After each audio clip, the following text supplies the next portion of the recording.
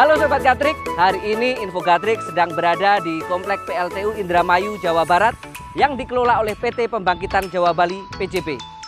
Yuk kita simak jalan-jalan Info Gatrik.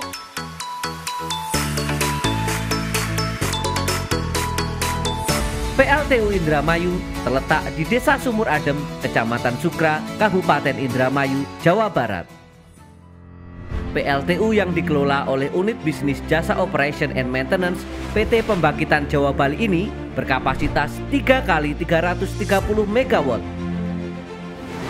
PLTU ini merupakan salah satu objek vital nasional yang menyuplai energi listrik untuk Jawa Bali, utamanya kawasan Jawa Barat dan DKI Jakarta. PLTU ini terhubung ke jaringan 150 kafe sistem Jawa, Madura, dan Bali.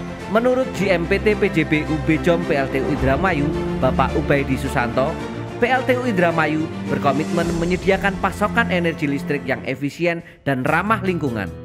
Untuk menjaga efisiensi, kami melakukan banyak hal. Salah satunya beberapa di antaranya adalah uh, melakukan combustion tuning, melakukan penghematan-penghematan di uh, bahan bakar, melakukan penghematan di pemakaian sendiri, dan juga kami menerapkan uh, digital power plant yaitu advance analytic, di mana di situ akan disimulasikan efisiensi-efisiensi yang bisa dilakukan oleh kami di PLTU Indramayu.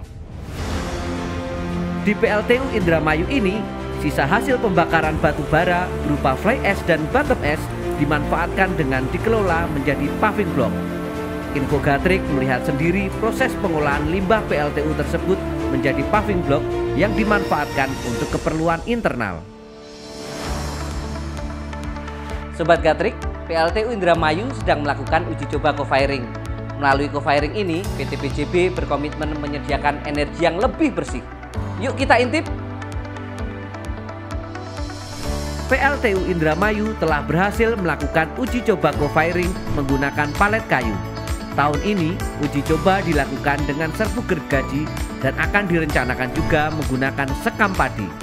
PLTU Indramayu telah melakukan uji coba co-firing yang pertama di awal tahun 2020 di bulan Januari yaitu dengan menggunakan uh, wood pellet ya di bakar di dalam boiler dan hasilnya alhamdulillah uh, sesuai harapan. Uji coba co-firing ini diharapkan dapat segera selesai dan beroperasi komersial. Co-firing ini diharapkan dapat menurunkan konsumsi batu bara di PLTU Indramayu. Melalui co-firing, kita berharap dapat memberikan dampak positif dalam pencapaian kontribusi bauran EBT dan kualitas udara dapat menjadi lebih bersih. Sekian jalan-jalan Infogatrik di PLTU Indramayu hari ini.